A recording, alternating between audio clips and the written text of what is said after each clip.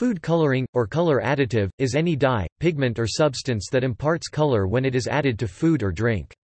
They come in many forms consisting of liquids, powders, gels, and pastes. Food coloring is used both in commercial food production and in domestic cooking. Food colorants are also used in a variety of non-food applications including cosmetics, pharmaceuticals, home craft projects, and medical devices.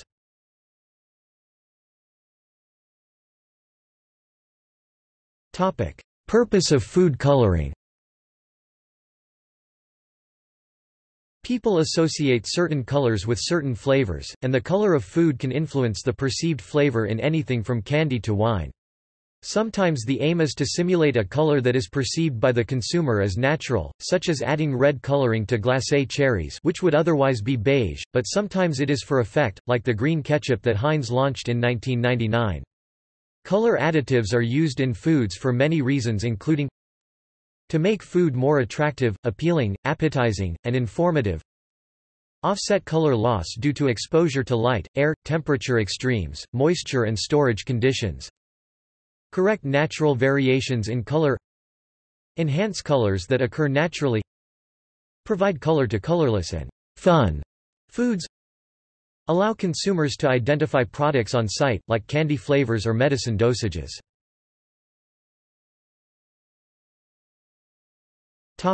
History of artificial food colorants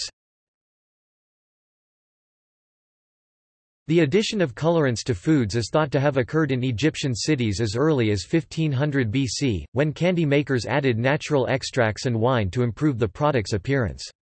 During the Middle Ages, the economy in the European countries was based on agriculture, and the peasants were accustomed to producing their own food locally or trading within the village communities. Under feudalism, aesthetic aspects were not considered, at least not by the vast majority of the generally very poor population. This situation changed with urbanization at the beginning of the modern age, when trade emerged—especially the import of precious spices and colors. One of the very first food laws, created in Augsburg, Germany, in 1531, concerned spices or colorants and required saffron counterfeiters to be burned. With the onset of the Industrial Revolution, people became dependent on foods produced by others. These new urban dwellers demanded food at low cost. Analytical chemistry was still primitive and regulations few. The adulteration of foods flourished. Heavy metal and other inorganic element containing compounds turned out to be cheap and suitable to restore the color of watered-down milk and other foodstuffs, some more lurid examples being red lead and vermilion HGS were routinely used to color cheese and confectionery. Copper arsenite was used to recolor used tea leaves for resale. It also caused two deaths when used to color a dessert in 1860. Sellers at the time offered more than 80 artificial coloring agents, some invented for dyeing textiles, not foods. Thus, with potted meat, fish and sauces taken at breakfast he would consume more or less Armenian bole, red lead, or even bisulphuret of mercury. At dinner with his curry or cayenne he would run the chance of a second dose of lead or mercury. With pickles, bottled fruit and vegetables he would be nearly sure to have copper administrated to him, and while he partook of bonbons at dessert, there was no telling of the number of poisonous pigments he might consume. Again his tea if mixed or green, he would certainly not escape without the administration of a little Prussian blue. Many color additives had never been tested for toxicity or other adverse effects. Historical records show that injuries, even deaths, resulted from tainted colorants. In 1851, about 200 people were poisoned in England, 17 of them fatally, directly as a result of eating adulterated lozenges. In 1856, mauveine, the first synthetic color, was developed by Sir William Henry Perkin and by the turn of the century, unmonitored color additives had spread through Europe and the United States in all sorts of popular foods, including ketchup, mustard, jellies, and wine. Originally, these were dubbed coal tar colors because the starting materials were obtained from bituminous coal. Many synthesized dyes were easier and less costly to produce and were superior in coloring properties when compared to naturally derived alternatives. Some synthetic food colorants are diazo dyes. Diazo dyes are prepared by coupling of a diazonium compound with a second aromatic hydrocarbons. The resulting compounds contain conjugated systems that efficiently absorb light in the visible parts of the spectrum, i.e. they are deeply colored. The attractiveness of the synthetic dyes is that their color, lipophilicity, and other attributes can be engineered by the design of the specific dye stuff. The color of the dyes can be controlled by selecting the number of azo groups and various substituents. Yellow shades are often achieved by using acetoacetanilide. Red colors are often azo compounds. The pair indigo and indigo carmine exhibit the same blue color, but the former is soluble in lipids, and the latter is water-soluble because it has been fitted with sulfonate functional groups.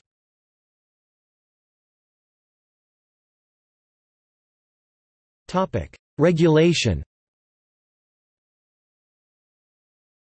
Topic history of regulation Concerns over food safety led to numerous regulations throughout the world. German food regulations released in 1882 stipulated the exclusion of dangerous minerals such as arsenic, copper, chromium, lead, mercury and zinc, which were frequently used as ingredients in colorants. In contrast to today, these first laws followed the principle of a negative listing substances not allowed for use, they were already driven by the main principles of today's food regulations all over the world, since all of these regulations follow the same goal, the protection of consumers from toxic substances and from fraud. In the United States, the Pure Food and Drug Act of 1906 reduced the permitted list of synthetic colors from 700 down to 7. The seven dyes initially approved were Ponceau 3R FD&C Red No. 1, Amaranth FD&C Red No. 2, Erythrosine FD&C Red No. 3, Indigotine FD&C Blue No. 2, Light Green SF FD&C Green No. 2, Naphthol Yellow 1 FD&C Yellow No. 1, and Orange 1 FD&C Orange No. 1. Even with updated food laws, adulteration continued for many years and this, together with more recent adverse press comments on food colors and health, has continued to contribute to consumer concern about color addition to foodstuffs. In the 20th century, the improvement of chemical analysis and the development of trials to identify the toxic features of substances added to foods led to the replacement of the negative lists by lists of substances allowed to be used for the production and the improvement of foods. This principle is called a positive listing, and almost all recent legislations are based on it. Positive listing implies that substances meant for human consumption have been tested for their safety, and that they have to meet specified purity criteria prior to their approval by the corresponding authorities. In 1962, the first EU Directive 62-2645 EEC approved 36 colorants, of which 20 were naturally derived and 16 were synthetic. This directive did not list which food products the colorants could or could not be used in. At that time, each member state could designate where certain colors could and could not be used. In Germany, for example, quinoline yellow was allowed in puddings and desserts, but tartrazine was not. The reverse was true in France. This was updated in 1989 with 89 107 EEC, which concerned food additives authorized for use in foodstuffs. Topic current regulation While naturally derived colors are not required to be certified by a number of regulatory bodies throughout the world including the US FDA, they still need to be approved for use in that country. Food colorings are tested for safety by various bodies around the world and sometimes different bodies have different views on food color safety. FDA's permitted colors are classified as subject to certification or exempt from certification in Code of Federal Regulations, Title 21 Part 73 and 74, both of which are subject to rigorous safety standards prior to their approval and listing for use in foods. Certified colors are synthetically produced and are used widely because they impart an intense, uniform color, are less expensive, and blend more easily to create a variety of hues. There are nine certified color additives approved for use in the United States. Certified food colors generally do not add undesirable flavors to foods. Colors that are exempt from certification include pigments derived from natural sources such as vegetables, minerals, or animals. Nature-derived color additives are typically more expensive than certified colors and may add unintended flavors to foods. Examples of exempt colors include annatto, beet extract, caramel, beta-carotene, turmeric and grape skin extract.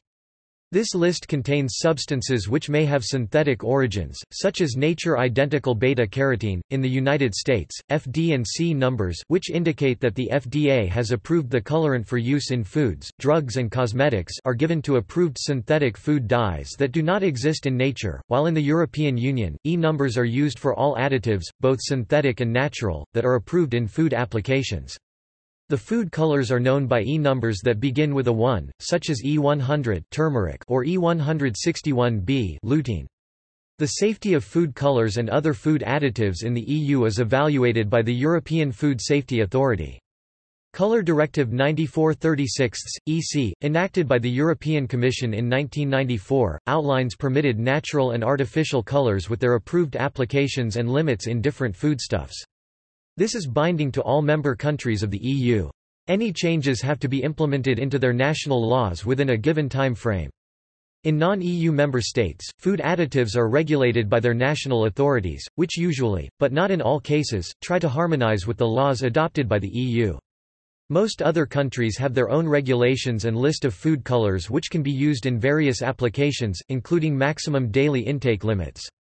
Canadian regulations Food in Canada cannot be sold with more than, 300 ppm of dyes including Allura Red, Amaranth, Erythrosine, Indigotine, Sunset Yellow FCF or Tartrazine or any combination of these unless specified 100 ppm of Fast Green FCF or Brilliant Blue FCF or any combination of these 300 ppm of Allura Red, Amaranth, Erythrosine, Indigotine, Sunset Yellow FCF or Tartrazine and Fast Green FCF or Brilliant Blue FCF combined 150 ppm of Ponceau SX dye.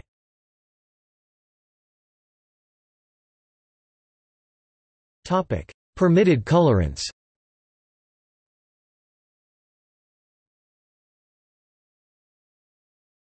Topic: EU. E numbers 102 to 143 cover the range of artificial colors. For an overview of currently allowed additives see here 1.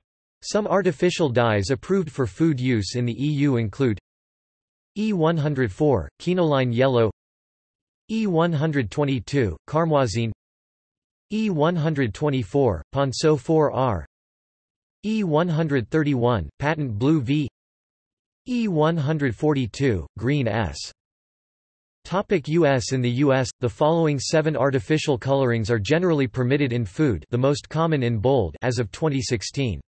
The lakes of these colorings are also permitted except the lake of red number 3.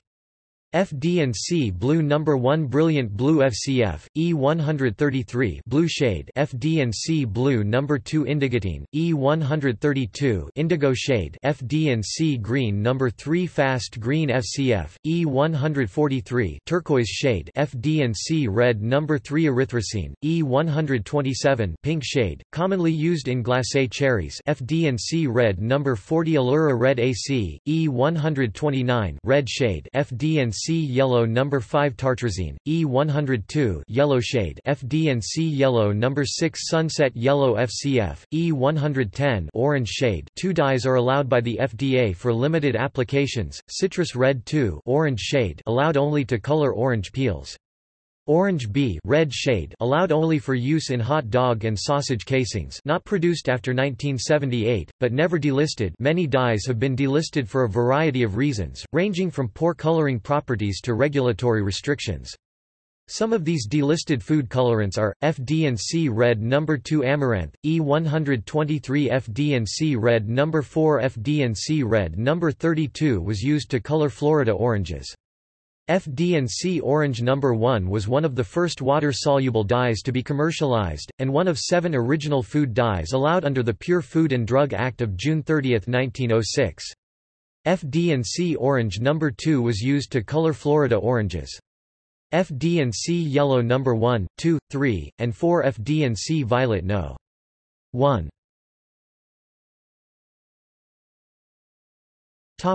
Global harmonization Since the beginning of the 1960s, JECFA has promoted the development of international standards for food additives, not only by its toxicological assessments, which are continuously published by the WHO in a technical report series, but furthermore by elaborating appropriate purity criteria, which are laid down in the two volumes of the Compendium of Food Additive Specifications, and their supplements. These specifications are not legally binding but very often serve as a guiding principle, especially in countries where no scientific expert committees have been established. In order to further regulate the use of these evaluated additives, in 1962 the WHO and FAO created an international commission, the Codex Alimentarius, which is composed of authorities, food industry associations, and consumer groups from all over the world. Within the Codex organization, the Codex Committee for Food Additives and Contaminants is responsible for working out recommendations for the application of food additives, the general standard for food additives.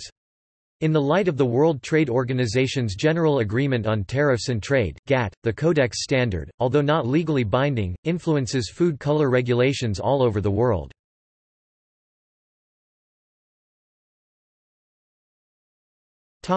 Natural food dyes Carotenoids E160, E161, E164, chlorophyllin E140, E141, anthocyanins E163, and betanin E162 comprise four main categories of plant pigments grown to color food products. Other colorants or specialized derivatives of these core groups include Annatto E160B, a reddish-orange dye made from the seed of the achiote, Caramel coloring E150 AD, made from caramelized sugar. Carmine E120, a red dye derived from the cochineal insect, Dactylopius coccus Elderberry juice E163 Lycopene E160D Paprika E160C Turmeric E100 blue colors are especially rare. One feasible blue dye currently in use is derived from spirulina. To ensure reproducibility, the colored components of these substances are often provided in highly purified form. For stability and convenience, they can be formulated in suitable carrier materials solid and liquids. Hexane, acetone, and other solvents break down cell walls in the fruit and vegetables and allow for maximum extraction of the coloring. Traces of these may still remain in the finished colorant, but they do not need to be declared on the product label. These solvents are known as carry-over ingredients.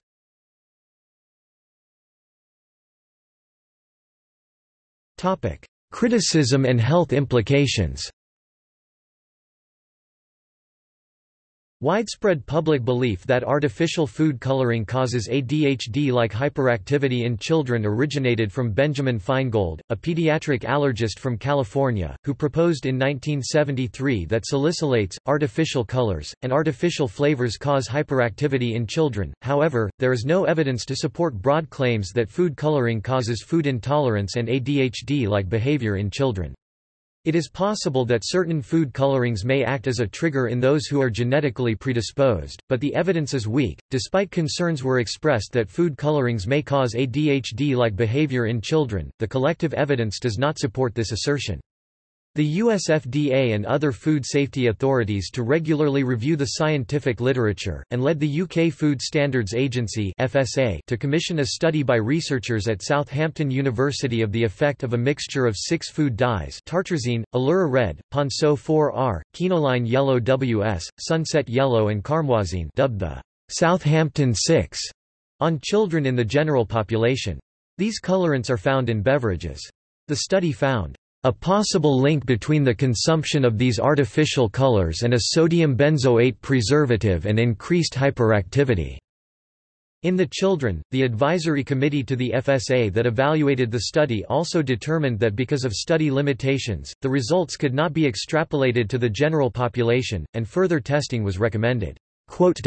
The US FDA did not make changes following the publication of the Southampton study, but following a citizen petition filed by the Center for Science in the Public Interest in 2008, requesting the FDA ban several food additives, the FDA reviewed the available evidence, and still made no changes. The European regulatory community, with an emphasis on the precautionary principle, required labeling and temporarily reduced the acceptable daily intake for the food colorings, the UK FSA called for voluntary withdrawal of the colorings by food manufacturers. However, in 2009 the EFSA re-evaluated the data at hand and determined that the available scientific evidence does not substantiate a link between the color additives and behavioral effects for any of the dyes.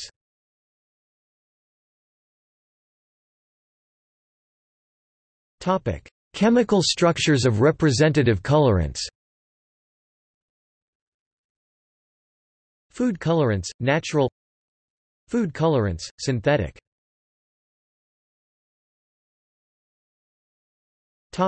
See also Azo compound Acid dye E-number Federal Food, Drug, and Cosmetic Act Food additive